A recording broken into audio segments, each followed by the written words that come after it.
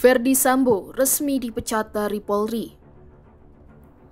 Sebelumnya Sambo sempat tak terima atas pemecatan dirinya dan mengajukan banding. Namun banding Sambo di sidang KKEP ditolak. Tak hanya itu, setelah dipecat secara tak terhormat, kini mantan Kadif Propam Polri itu dibayangi ancaman hukuman mati sebagai tersangka kasus dugaan pembunuhan Brigadir J.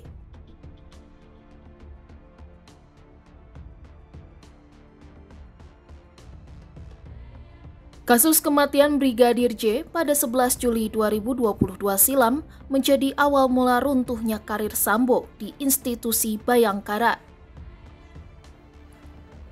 Imbas dari kasus ini adalah dengan dinonaktifkannya Sambo dari posisi Kadif Propam Polri pada 18 Juli 2022.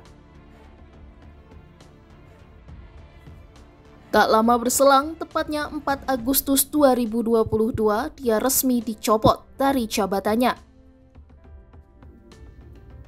Bersama dengan sembilan anggota kepolisian lainnya, Sambo dimutasi sebagai perwira tinggi pelayanan markas Polri. Seluruhnya diduga melanggar kode etik karena tidak profesional dalam menangani kasus kematian Brigadir J.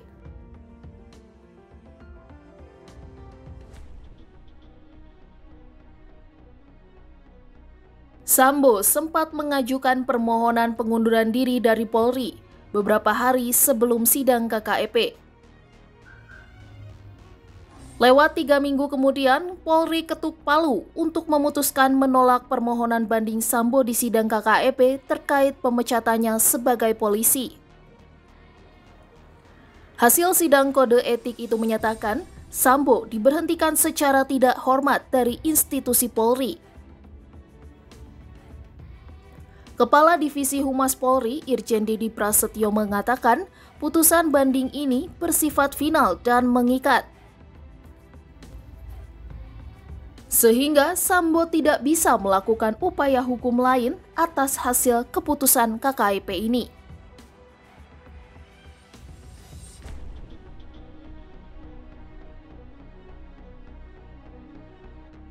Sambo ditetapkan sebagai tersangka dugaan pembunuhan berencana terhadap Brigadir J tepat pada 9 Agustus 2022. Diduga Sambo lah yang mencari dalang pembunuhan berencana terhadap anak buahnya sendiri.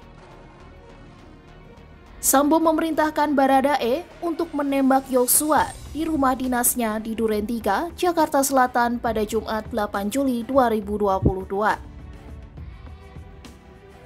Setelahnya, dia menembakkan pistol milik Brigadir J ke dinding-dinding rumahnya supaya seolah terjadi tembak-menembak.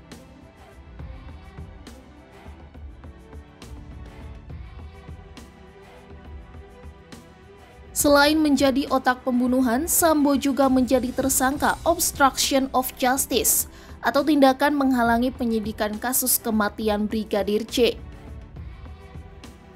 Perusakan dan penghilangan CCTV hingga perusakan tempat kejadian perkara dilakukan oleh Sambo dan tersangka lainnya demi menghalangi penyidikan. Para tersangka dijerat pasal 49 Junto pasal 33 dan atau pasal 48 ayat 1 Junto pasal 32 ayat 1 UU nomor 19 tahun 2016 tentang informasi dan transaksi elektronik dengan ancaman pidana penjara 8 hingga 10 tahun kurungan. Mereka juga dikenakan pasal 221 ayat 1 dan 233 KUHP contoh pasal 55 KUHP dan atau pasal 56 KUHP dengan ancaman 9 bulan hingga 4 tahun kurungan.